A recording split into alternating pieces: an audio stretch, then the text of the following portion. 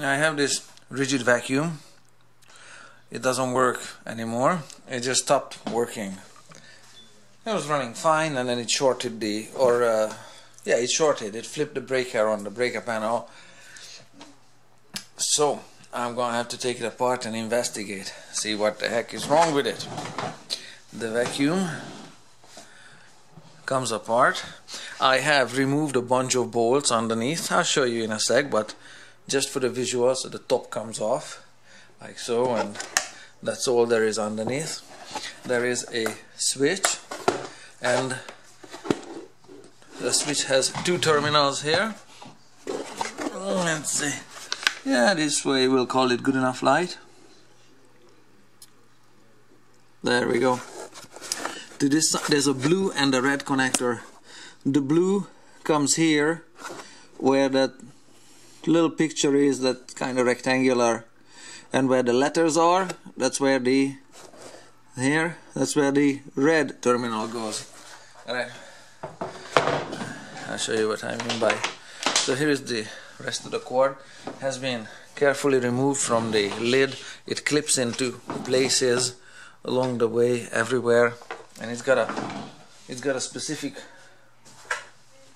routing here it clips in here and then one wire clips in here here here and the other one the goes down there. There's another similar clip there another one there and one more there as the wire goes and one more here of course as, as it comes towards the switch okay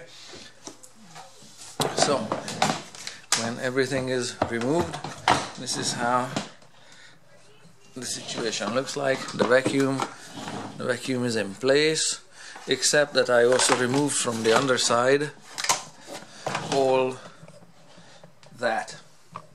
The filter and this part comes off and mounts along the perimeter with those bolts they are all uniform in size so super simple. Just take out the bolts. Those I don't know eight of them whatever. I didn't count. And then you have a few more. Those bolts were here. Like oh there we go. It fits the picture. There there there. One up top there. Other side you get the idea. And on top of that you have a few more Mm, there we go. Two more here two more there two more there and one more one more there. Okay. And this here is what's making the wind. This is the output shaft of the motor. And when it spins another fan that you can see up top also spins. So this is the shaft of the motor. And the two wire the only two wire that exists in this whole thing comes to the motor white on one side and the black the power the, the hot with the blue and red connectors. It goes to the switch. You flip the switch then electricity flows uninterrupted from one to another through the switch and then the motor is powered. So first off I'm gonna check I really don't know what's wrong with it. I have different theories. It may be dirt although I blew it clean with compressed air. It still doesn't work. It could be the carbon brushes. They could be short. I mean in length short. The carbon brushes live there that's a little wire to it. Not the white. That copper wire is the uh, pickup wire for the brush and there's one more on the other side and I really don't know what's wrong with it so they uh, the brushes might be short and not contacting the commutator. I, I have to look at it. I have to take it apart. First I want to see if the cord is good. I inspected the cord in its entire length. There are no cuts no tears nothing that would indicate that the cord is wrong but I will check it I can check it this way unpowered with a continuity tester to see if there's continuity between that would be the hot and that. Or you can plug it in and do the same same thing. Continuity tester is safer so I'm to do that. Set the instrument. This is just a voltmeter to continuity which would be let's see that one where the instrument makes a sound. And uh, plug one of them here just like so. There is continuity from the hot to the uh, part of the wire that goes to the switch. So this part of the wire is good. And the other one I would like to check the white one as well. So I'm gonna hook it on the neutral here just through the hole just like so. And on the uh, where this metal is exposed good. I have continuity there still okay? That's where the connector is at the end of the white wire alright so the cable is good or the cord is good. Although can you see that little cut here? Although not without imperfections sorry. Uh, I don't know what that is. So so that's why I'm checking this entire thing starting with the cord okay so far so good. My next move take out the motor. Of course the motor doesn't come out as is. I, I would need to probably possibly remove that one bolt. That bolt doesn't just come out because you don't want this wheel to fly off in operation. There's a hex key that goes into the center and whatever fits the outside and uh, that's how you remove that washer. And then hopefully you can remove the motor from this plastic housing. Alright I get the tools and keep you posted I've removed the whole motor from the housing here. And uh, underneath the fan there are two screws that hold the motor in place. The screws are about this long. There everything is Phillips number two. And what worked on the motor here this is a half an inch half inch nut but the 30 half an inch is 12.6 millimeters so my 13 millimeter wrench worked on it. Literally flawlessly. It's a little gappy but it's good. And I held the center of the shaft there after meticulous clean out with this 3 millimeter wrench there and the hole is about that deep. It's pretty good. So take out the nut okay underneath there is a black washer like so metal. And underneath the fan there's another washer that's this shape. And let's look at what we have here. The carbon brushes. Let me just get you here a little closer for the light. Somewhere here. Okay let's try this one. So here's a carbon brush on one side. You can see that it's spring loaded and it's long. And if we can get a good angle on this one you can see the commutator segments. I'll try to rotate it from this end. Of course it wouldn't let me do it. Okay there we go. Okay commutator segments rotating. There and I've got a flashlight but it's really hard to hold everything. You can see there the carbon brush making good contact. Let's see if I can do it this way. Almost there almost there. If it wasn't any easier you know I would do it the easier way but there okay? So you get the idea carbon brush making positive contact with the commutator segments there same on the other side of course with the other brush Uh, let's see, we're gonna see it through that hole there. I get there. Let's see. Light through there. Yeah, it works this way too. There. Okay, positive contact. And with compressed air, I cleaned out the commutator segments the best I could without without inserting a needle, just compressed air into the grooves. Okay, there should be no carbon deposits in the grooves whatsoever because that shorts the segments. So after all the cleanup with compressed air, what I have here is I just mount this on this bench with the wood clamp that just fell like so. Big rubber surface on the wood clamp so it doesn't it doesn't harm the motor. Let's see.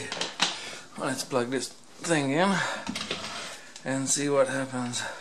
I hope there's nothing else wrong inside so it's just gonna work. Alright that's a 10 out of 10 I'm gonna run it for a while. Just and jiggle the wire just to see if there's any loose connection anywhere. Just just the wire because I don't want to touch the bare wire there or the bare wire there. So that's pretty much all there is to it. I just cleaned it with compressed air after some experimentation with the motor I found the cause of the problem because sometimes the motor was on sometimes it just doesn't want to work. Sometimes it does work. So I found that the problem is here with the neutral pin the neutral pin is this wider at the plug and look at this one. It's got a loose pin or a loose tooth. It shouldn't wobble like that it also has a lot of excessive play sideways. Alright so this pin is basically broken inside. I have to cut it off somewhere here and put a new plug on. Super straightforward but this is what's causing the problem or the malfunction.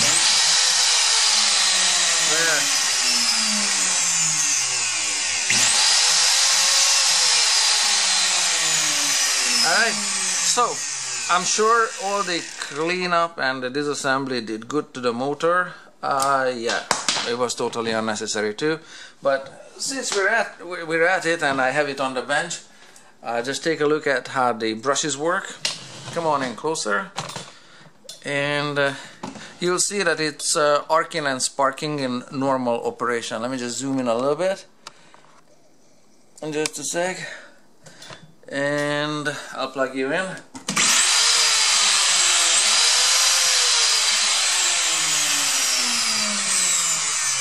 Well, let's see, some blue sparks.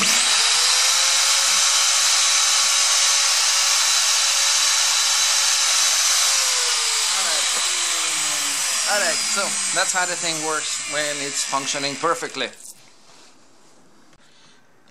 I've got the instrument here set up to measure some voltage at a couple of reference points.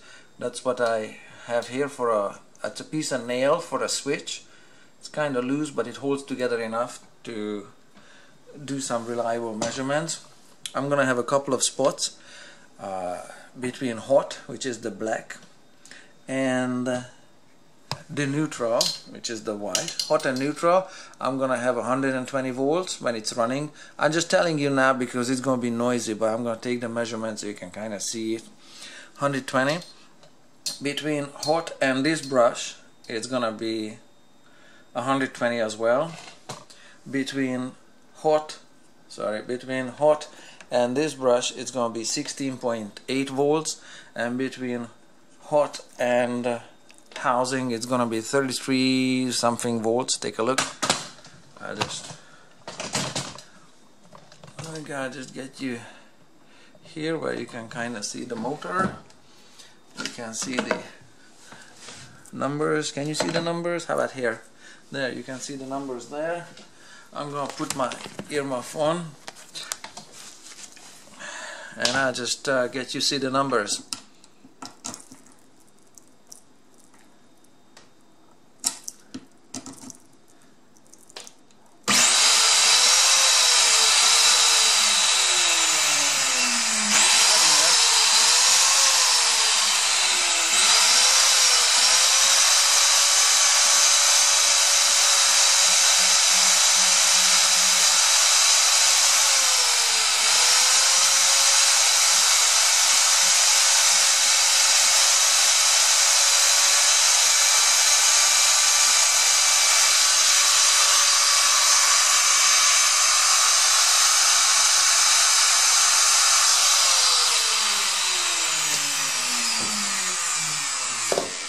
Alright, I don't have a lot of explanation on that. You can take it apart and take a look at the coils and see how it works and so those are my reference voltages. And a couple of quiet measurements. I selected resistance, so we're measuring ohms. Let's see, there 2.2 ohms or so. That's just ohms, 2.2 or so. There, measured from neutral there to the positive wire there, the hot wire there. And a couple of measurements for continuity. Of course you will have let me just set it to continuity this way. Uh, one more click on that. Okay so that's uh, when we have continuity you have the this beep sounding. So let's go to the hot here. Of course we have continuity here where we measured resistance.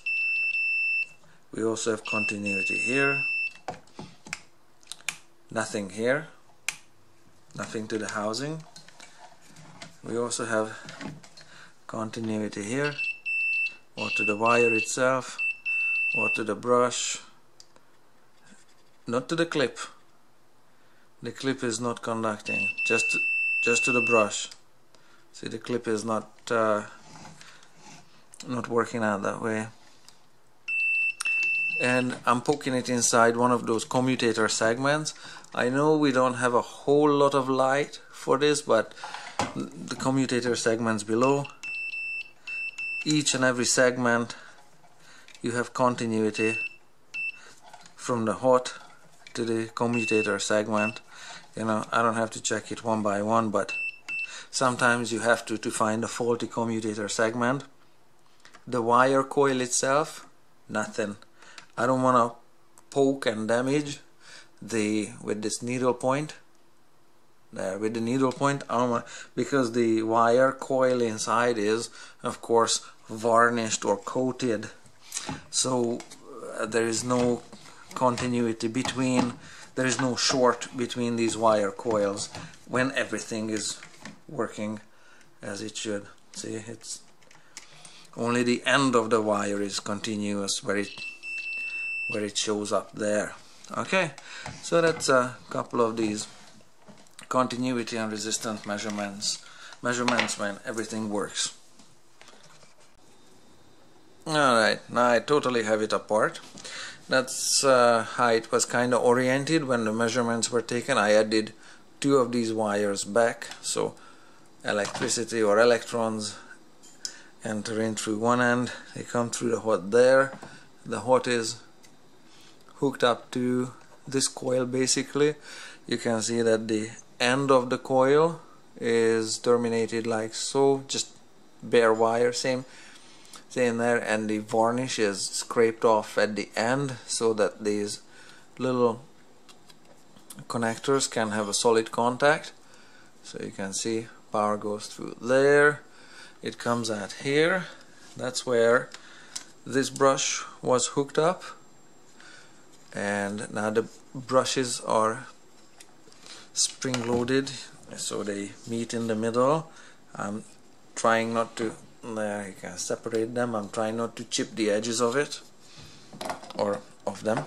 So where there. This brush was hooked up there and then power goes through that one. Okay so that would be this one here. Power goes through that one. Through the commutator segment comes out on the other side goes in here comes through there and sorry. Alright so power goes through there through that coil comes out to this brush here which is connected that way and then goes through the bar brush through the commutator segment out the other brush the other brush is connected to that terminal there and and through uh, through this wire coil it goes to the neutron so this is the stator and the rotor part. Here you can see nice clean commutator segments. And this was in here like so. Of course it's held in place by this bearing at the end just very simple. Doesn't need lubrication or anything but of course I will add one drop. So this was there this was there and everything is held together with these two bolts so that's all my motor story. That's how it works. So you can make sense what the voltages and the measurements were this way.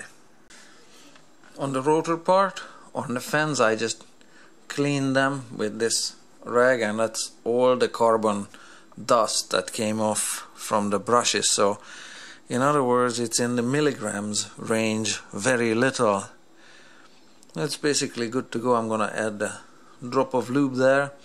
And the edges are a little rough because that's how it's been uh, stamped and bent how it was made you know. This whole star wheel fan was just with a cookie cutter stamped out and just the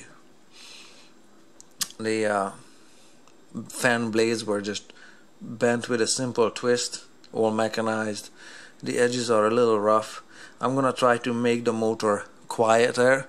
I'm gonna file these microscopic burrs along the edges that you can see there. I don't know if it's gonna make any or much difference but I'll just do it. I got the time. It won't make them louder. There. This blade I just filed. Of course the metal filings will be all there for the motor to ingest so it's gonna be gonna have to be cleaned up meticulously from my from my hands and from the surfaces with some more compressed air. So that's before filing. Okay the camera is kinda in the way but that's getting there. Yeah that's about that's about all it takes on that side. When the camera is not in the way I kinda look a little more fluent with this. There that's done on that one. And you can see the small metal filings on fallen on the next blade making a little sparkle whatever so I try to keep it on my hands and off of these rotating surfaces and off of the commutator gaps where it can uh, and will sh short eventually. So it's gonna have to be cleaned with compressed air when I'm done. You're looking at the surface pitting the surface wear on this bronze bushing that's holding the tail end of the rotor. So if I rotate this plastic piece you can see that black pitting this is a brass bushing here. That black pitting on it is everywhere and so I have half a drop or whatever one drop of this assembly lube just just about that much on it there. And I'm gonna this is not how they go together but this is how they go together. Ah maybe I can put it in there this this way and just spread the lubricant. I haven't taken measurements so I don't know I don't have the specs so I don't know what the diameter of the shaft should be and and I don't know what the diameter of the inside diameter of the bushing should be. It's pitted it's worn I'm just trying to make it less noisy. It's it's gonna be worn it's not gonna be perfect but I'm just trying to make it quieter as well. Alright, uh, assembly wise, this part with its four terminals, one, two, three, four, are completely reversible, so it doesn't matter where you attach the black and the white as long as they are diagonally opposing each other. So either this way or this way and you'll you'll be fine. And this part as well this is how it comes. It's symmetrical so it doesn't matter which way it's hooked up as long as the two brushes are diagonally opposing each other. So if the black and the white wires are here and then the brushes need to be hooked up here and here. Likewise if the black and the white wires are here then the brushes need to be hooked up there. Alright. Enough said. Alright let's put this one together. And you can maybe you can't really see but you can see now that between shots I'm meticulously cleaning my hand free of all debris and filings and any kind of stuff because I don't want to introduce garbage into the motor. Okay so far so good. And now we've got the brushes and they're really easy to separate can either pull it by the tail or wherever you can. Let's see how do I want these wires? I want these ones there and this one there so okay. Now you're not gonna get a super nice angle on this one because I just need to make it work. Oh it's spinning on me. Sorry guys but there you can see the brushes. Move out of the way there. So I'm gonna do this. And okay I just realized I have to take that one off. And that one off. Sorry. And that one got bent in the process a little bit. Alright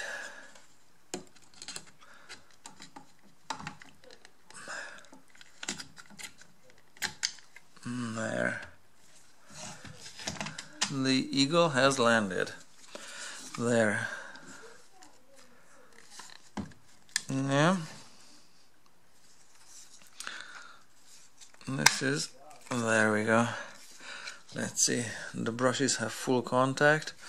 Okay now I need my flashlight to show you this but you can see the commutator surface and you can see the edges of the uh, the uh, brush there lining up with it. So it's everything is together properly. Alright yeah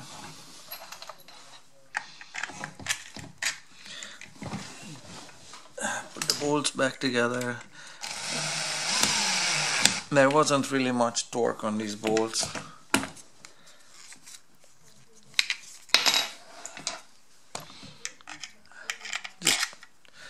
just to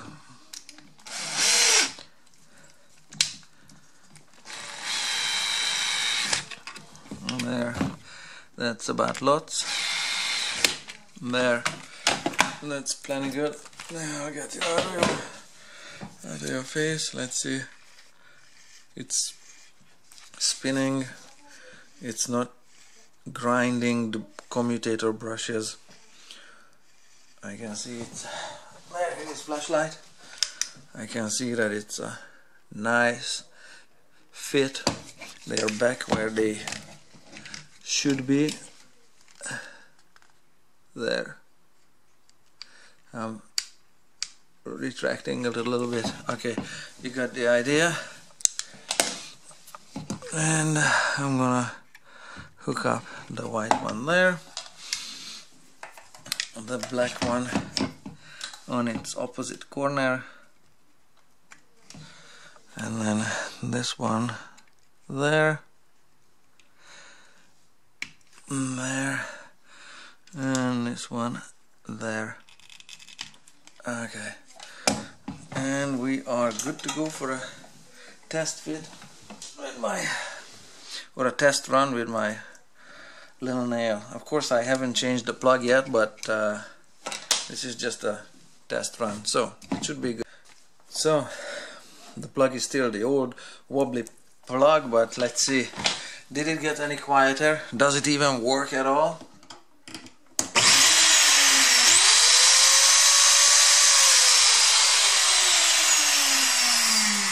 That's 10 out of 10 maybe a little quieter. Uh, maybe I'm just imagining things but uh, perfect assembly